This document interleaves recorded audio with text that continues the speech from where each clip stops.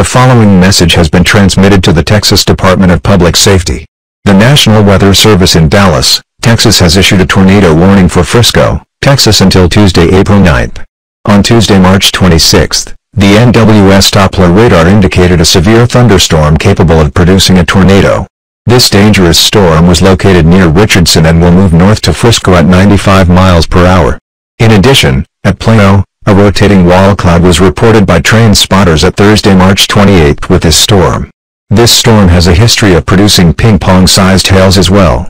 Locations impacted include Plano, Frisco, McKinney, Dallas, Richardson, Arlington, Irving, Houston, San Antonio, Austin, Corpus Christi, Waco, El Paso, Fort Worth, Lubbock, Amarillo, Abilene, Katy, Killeen, New Braunfels, Buda, Bastrop, Seguin, Texarkana, and Pasadena.